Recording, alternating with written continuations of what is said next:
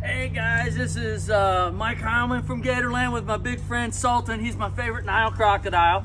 He's about 11 feet long. It's feeding time, so we're gonna give him a nice rat. He's gonna smile for us though first.